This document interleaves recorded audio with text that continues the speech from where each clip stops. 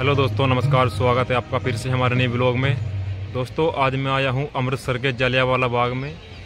ये वही जलियावाला बाग है जहाँ पर जनरल डायर ने लगभग पाँच हज़ार भारतीय लोगों को मौत के घाट उतारा था। दरअसल बात है उन दिनों की, जब हमारा देश जो है अंग्रेज़ों का गुलाम हुआ करता था तो अंग्रेज़ों ने एक कानून पारित किया 1919 में रोल एक्ट। तो उसी कानून का विरोध हमारे भारतीय लोगों ने किया। तो उन विरोधकर्ता में एक थे सिफुद्दीन सिफुद्दीन किचलू। तो सिफुद्दीन किचलू को जो है अंग्रेज़ों ने गिरफ़्तार कर लिया। तो उसकी गिरफ्तारी के जो विरोध में कुछ भारतीय लोग, लगभग पाँच हज़ार के आसपास व्यक्ति जलियावाला बाग में सभा का आयोजन कर रहे थे। तो वहाँ पे होता क्या है, ये बात लगती है पता जनरल डायर को और वो वहाँ पर अपने जो है नब्बे सैनिकों के साथ आता है और लगभग 1650 राउंड 1600 1650 राउंड गोलियों को जो है फायर करता है। कुछ लोग जो है मौत से बचने के लिए यहाँ पर एक कुआ है, उस कुएँ में छिपते हैं। तो वो जैसे ही ऊपर नीचे गिरते हैं तो वहाँ भी बहुत लोग दब कर मर जाते हैं। तो मैं आपको वो कुआ भी दिखाऊँगा। और जो जनरल डायर ने 1650 राउंड फायर किए थे, यहाँ पर एक दीवार है। उस दीवार पर आज भी उन गोलियों के निशान मौजूद है। दोस्तों, मैं आपको दिखाता हूँ। मैं आपको यहाँ का पूरा एरिया दिखाऊँगा कि कहाँ क्या क्या हुआ था, वो कुआ भी दिखाऊँगा और जहाँ पर उस दीवार पर जो निशान है, गोलियों को वे भी दिखाऊँगा। आप वीडियो में बने रहिएगा। जैसे ही मैंने जलिया वाले बाग में एंट्री की, मुझको यहाँ की दीवारों पर देखने को बहुत से चित्र मिले। इन चित्रों में महिलाएँ, बच्चे, बूढ़े व्यक्ति और कुछ नौजवान साथी थे। ये उन्हीं लोगों के चित्र यहाँ पर बनाए गए, जो जलियावाला हत्याकांड में मारे गए। जैसे ही मैं यहाँ से बाहर निकलता हूँ, मुझको बाहर एक बहुत बड़ा गार्डन देखने को मिलता है।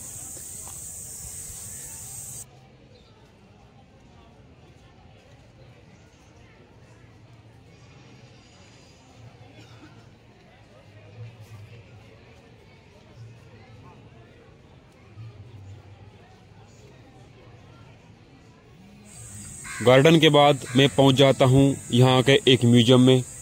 उस म्यूज़ियम में 1914 से 1918 के बीच की सभी गाथाओं का वर्णन है। जितने भी युद्ध हुए, उनका प्रमाण आपको यहाँ देखने को मिल जाएगा। और यहाँ पर एक तांबा और पीतल का जो एक कांस्य की प्रतिमा बनाई हुई है, आप यहाँ आकर उस प्रतिमा को देख सकते हैं। ये देखें मेरे सामने, लोग यहाँ पर जो है सेल्फी भी ले रहे हैं। बाकी यहाँ सेल्फी लेना मना है तो आप यहाँ आ सकते हैं। इसके बाद हम चलते हैं आगे।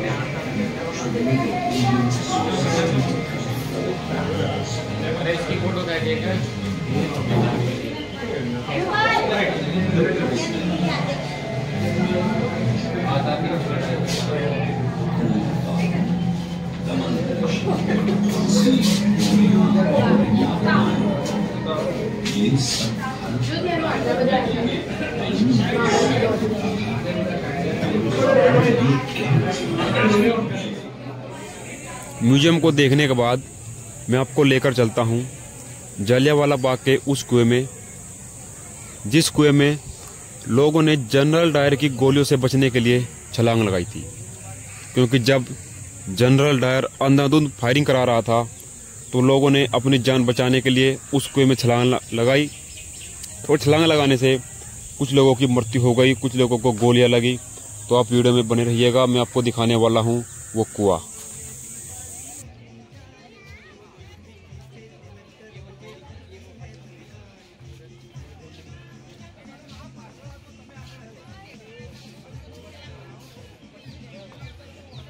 दोस्तों, आप जो मेरे सामने देख रहे हैं, ये वही कुआ है जिसमें लोगों ने छलांग लगाई थी।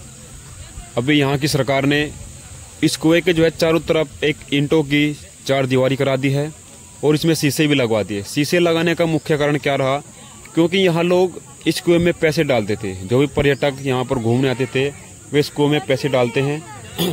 इसी प्रकार सरकार ने यहाँ जो है ये शीशे शीशे लगवा दिए और चार दीवारी करवा दी ताकि कोई इसमें अंदर ना झांके और जो है पत्ते, धूल मिट्टी इसमें अंदर ना जाए।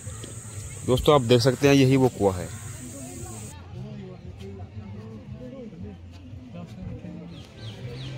दोस्तों, इस कुएँ को देखने के बाद मैं आपको लेकर चलता हूँ उस दीवार पर, जिस दीवार पर आज भी गोलियों के निशान मौजूद है।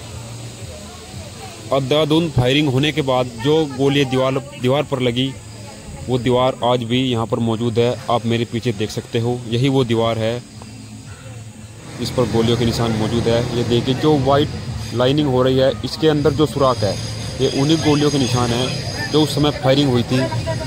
आज भी यहाँ के जो है, सरकार ने इसको कैप्चर करने के लिए इस दीवार को मॉडिफाई नहीं किया।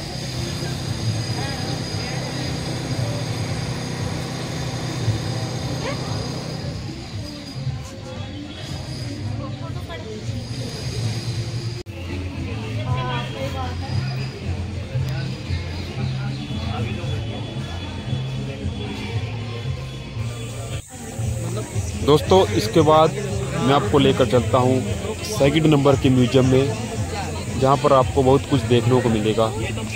तो चलते हैं सेकंड नंबर के म्यूज़ियम में।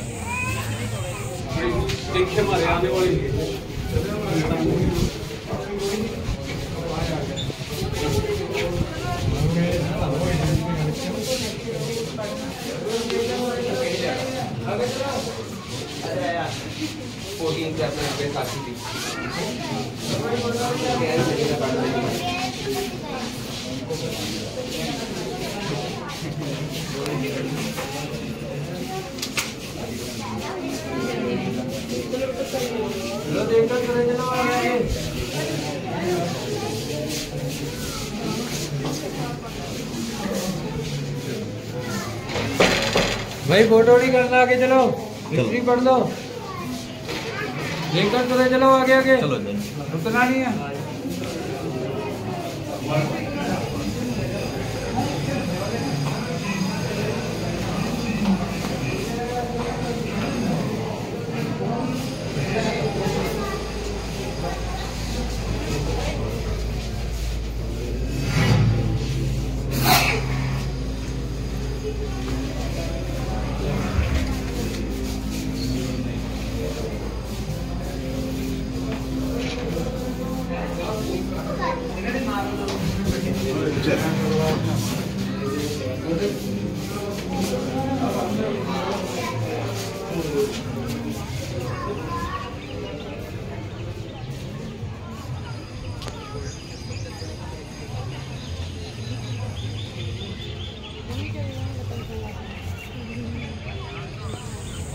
दोस्तों सेकंड नंबर का म्यूज़ियम देखने के बाद हम फिर से दूसरी तरफ़ घूम कर आए। मुझको यहाँ पर एक दीवार और देखने को मिली, जिस पर भी गोलियों के निशान मौजूद थे।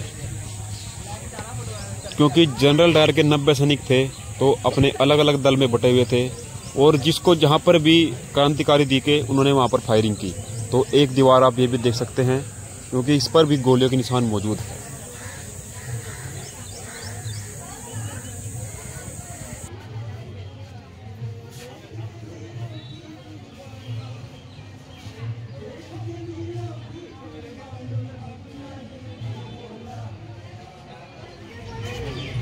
सेकंड नंबर की दीवार को देखने के बाद मैं पहुँच जाता हूँ एक स्मारक के पास, क्योंकि ये स्मारक जो है काफ़ी ऊँचा है और ये पानी के अंदर बनाया गया है। और इस पानी में जो है कमल के फूल खिले हैं तो आप भी यहाँ आकर देख सकते हैं।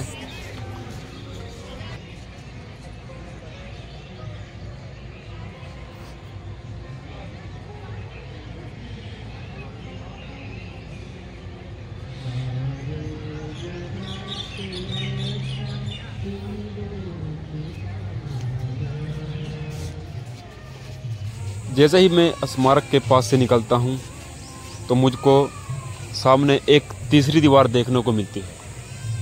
क्योंकि जिस तीसरी दीवार पर भी काफ़ी गोलियों के निशान थे। अब मैं आपको वो तीसरे नंबर की दीवार भी दिखाता हूँ, जिस पर भी गोली के निशान मौजूद है। ये देखिए, ये वो तीसरे नंबर की दीवार है। यहाँ पर भी फायरिंग हुई और गोलियों के निशान आज भी मौजूद है।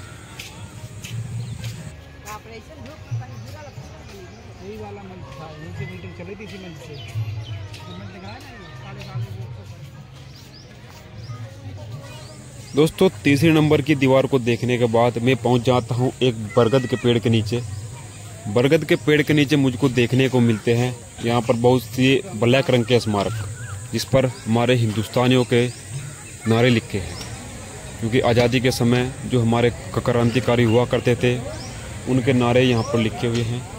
तो आप वीडियो को रोक कर इनको पढ़ सकते हैं।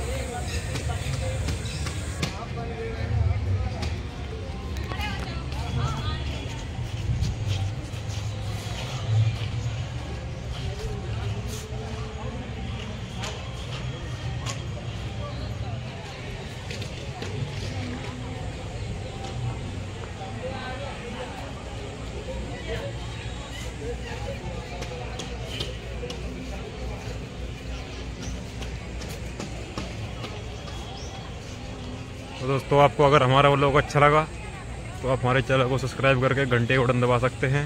मिलते हैं नेक्स्ट वीडियो में, तब तक के लिए जय हिंद।